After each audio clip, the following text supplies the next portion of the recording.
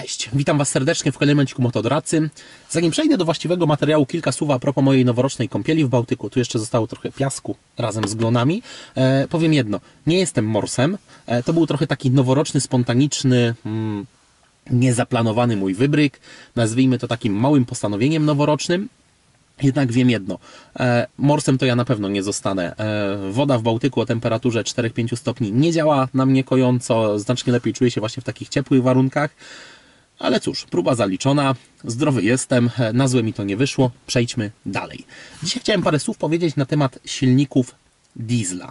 Silników wysokoprężnych, e, według mnie, na które warto zwrócić uwagę. Gdy Rudolf Diesel konstruował pierwszą jednostkę e, w 1893 roku, jednostkę o zapłonie samoczynnym, na pewno nie spodziewał się, że za ponad 100 lat będzie ona wyposażona w szynę Common Raila, koło dwumasowe, turbinę, E, filtr cząstek stałych, e, no jego jednostka była dość, dość prymitywna. Jednak te obecnie sprzedawane Dlatego są zaawansowane, chociażby właśnie z tego powodu, że mamy dość wyśrubowane normy e, emisji spalin. No i każdy z producentów stara się tym normom jakoś dogonić te normy, tak? No nie jest to proste, dlatego właśnie te jednostki są już na tyle zaawansowane, E, a warto tu jeszcze dodać, że tak wspomniałem, że każdy diesel najczęściej już teraz posiada turbo. Tak, mają nawet biturbo i nie tak dawno BMW wprowadziło tri-turbo, więc quo vadis motoryzacjo, sam jestem tego bardzo ciekaw. Jednak w pierwszej chwili, mm, gdy zawsze myślę o takiej jednostce diesla, która w moim przekonaniu jest najmniej awaryjna, bez wątpienia e, mam przed oczami Mercedesa W123 e, z emblematem 200D prosty klekot dwulitrowy o mocy 55 bądź 60 koni mechanicznych, który przyspieszał do pierwszej setki w niecałe 20 sekund. Jednak mm, ten silnik posiadał największą zaletę, tak to nazwijmy, w postaci długowieczności. E, według badań e, potrafił przejechać bez e, większej awarii 852 tysiące kilometrów.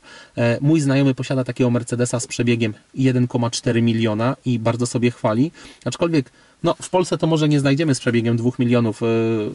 Warto, warto czegoś takiego poszukać chociażby na niemieckich portalach aukcyjnych, ale tam spokojnie znajdziemy właśnie auto z takim przebiegiem 2 miliony kilometrów i szczerze to jest jedno z nielicznych aut, gdzie im większy przebieg, tym lepszy. One zazwyczaj do 300 tysięcy to można powiedzieć, że się docierały. Jednostka długowieczna, na której Mercedes przejechał się.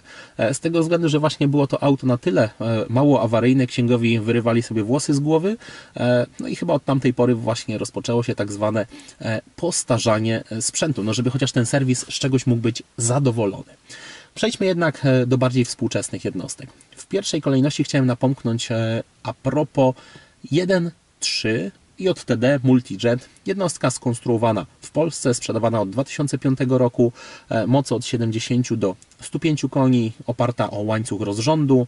E, może nie jest jakiś to demon prędkości, ale na pewno był to e, silnik mało awaryjny, i przede wszystkim oszczędny. Mi udało się na trasie 100 km e, uzyskać spalanie 2,9 litra. Było to w Fiacie Panda. We Fiacie Grande Punto spalanie miałem 3,4 litra z tym silnikiem, więc widać, że można z tego silnika dość sporo wycisnąć. E, I tyle. Polecam ten silnik stosowany właśnie we Fiatach, Alfach, Lanciach, e, Suzuki i jeszcze był stosowany w Oplach i w marce Tata. Quadrajet się nazywał w tej marce. Kolejny silnik 1.4 D4D. No, oznaczenie D4D już na pewno w pewien sposób tutaj kierunkuje nas, że będzie to e, Toyota, aczkolwiek nie tylko. Te silniki również były stosowane w modelach e, Mini. E, jednostka no, w pewien sposób zaawansowana technologicznie, mała pojemność, niezbyt wielka moc, często zestawiona była ze skrzynią MMT. To była skrzynia zautomatyzowana, której nie do końca polecam, ponieważ e, według mnie ta jednostka z, tym, z, z tą skrzynią zautomatyzowaną, e, nie wiem, nie, nie sprostała moim oczekiwaniom. Dziwnie mi się po prostu jeździło autem wyposażonym w tą skrzynię, aczkolwiek no, w większości też możemy spotkać skrzynie manualne. Musimy uważać na to, że e, jest bardzo dużo aut wyposażonych w ten silnik z dużymi przebiegami, z tego względu, że właśnie firmy flotowe głównie opierały się na Aurisach i Corollach opartych o ten silnik. No właśnie, kolejny silnik 1.9 JTD. Można powiedzieć, że jest to kultowa jednostka z tego względu, że e, grupa Fiata jako pierwsza wprowadziła szynę Common Raila, gdy jeszcze większość bazowała na pompowtryskach, e, Fiat już przeszedł na Common Raila i co ciekawe, e, jako nowa, nowoczesna jednostka, ona wcale nie była awaryjna, bo często nam się wydaje, że jak coś jest nowe, no to jeszcze musi być poprawione przy użyciu kierowców, którzy to testują. W tym wypadku ta jednostka była naprawdę dobra i te nowsze konstrukcje po 2005 roku wyposażone już w nowo, bardziej nowoczesny układ wtryskowy były bardziej awaryjne, częściej nich wysiadały koła dwumasowe, a te pierwsze generacje naprawdę sobie chwaliły. Mimo, że to nie były jakieś demony prędkości, e, te silniki nie miały jakiejś ekstra elastyczności, ale naprawdę są to bardzo dobre jednostki, stosowane w całej grupie Fiata, stosowane w Suzuki, w Cadillacu, e, w Sabie, Oplu, można wymieniać w nieskończoność. Tych e, marek jest dość sporo. Dalej, 1.9 TDI. Wiele osób się śmieje, że ach, jak chcesz kupić dobre auto, to weź sobie y, Passata w TDI-ku od Niemca, on na pewno jeździł nim tylko do kościoła i na rynek. No, można się śmiać, ale jest to jedna z bardziej współczesnych jednostek, e, które cechują się niesamowicie dużą bezawaryjnością. E, moce od 90 do 150 koni, aczkolwiek nie. Była jeszcze odmiana 160 koni stosowana w Ibizie e, Cupra. Bardzo dobrze znane przez mechaników, bo tych silników jest bardzo dużo. E, mimo wszystko dość proste, spokojnie przejeżdżały kilkaset tysięcy kilometrów. Jeżeli dobrze eksploatowaliśmy to auto na jednej turbosprężarce, mogliśmy pokonać w granicach 350 tysięcy kilometrów, e, co inne marki mogły sobie tylko czymś takim po prostu pomarzyć. E, warto wspomnieć tutaj, trochę podeprę się moją ściągawką, e, o silnikach o oznaczeniu BJB. To były silniki bez filtra cząstek stałych i BKC. To były dwie najlepsze odmiany tego silnika 1.9. E, uważałbym na odmianę BXE. Silnik stosowany, no można powiedzieć, że w całej palecie, od Skody Fabii po Audi A6. Polecam w całej rozciągłości, najbardziej chyba odmianę 105-konną. Dalej, 2.0 HDI. E, jednostka opracowana przez koncern PSA, też przy udziale Forda. No Ford tutaj złapał się trochę tak na doczepkę, bo gdy stworzył do Mondeo swojego pierwszego, znaczy no pierwszego, bardziej nowoczesnego diesla 2.0 TDCi, okazało się, że była to jedna wielka klapa, więc zapukał do drzwi koncernu PSA, żeby wspólnie coś tam w warsztacie pogmerać, no i udało się stworzyć jednostkę 2.0 HDI.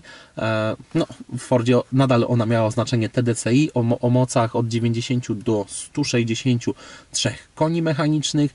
Wbrew pozorom, gdy mówi się, że jednostki e, francuskie na F są do niczego, e, uważam, że naprawdę to była bardzo dobra jednostka, sprzedawana do dziś. Oczywiście wiadomo, Cały czas ona była unowocześniana, stosowana w Citroenach, Peugeotach, Fordach, również Suzuki. Dalej. 2.2 i CTDI. Zawsze mam problem z wymówieniem tej nazwy w dobrej kolejności.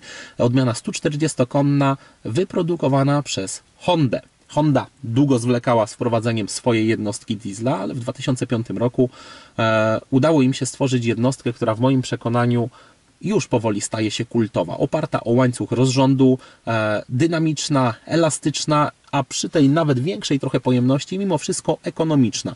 Miałem, przejechać, miałem okazję przejechać blisko 15 tysięcy kilometrów Civiciem wyposażony w ten, w ten silnik i powiem tak, auto, które przyspieszało no, w trochę ponad 8 sekund do setki, naprawdę fajnie się spisywało, aczkolwiek w akordzie ten silnik również e, dobrze się spisuje w CR fale, FR fale, e, jak najbardziej. Polecam naprawdę ten silnik.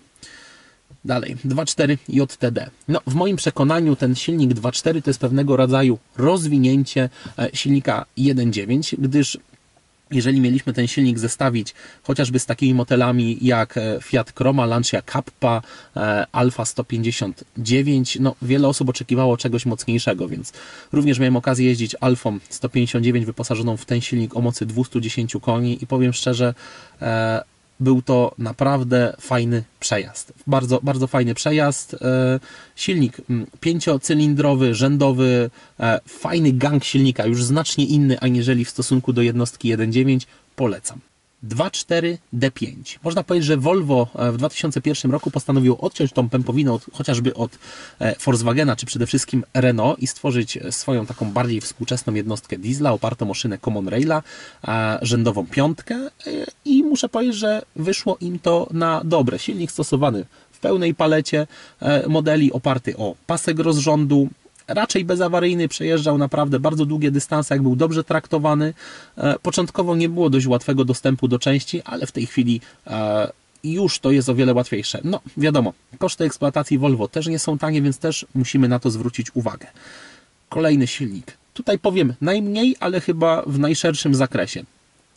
3 e, litry od BMW. W dieslu stosowane chociażby, nie wiem, od E39 po e, X6.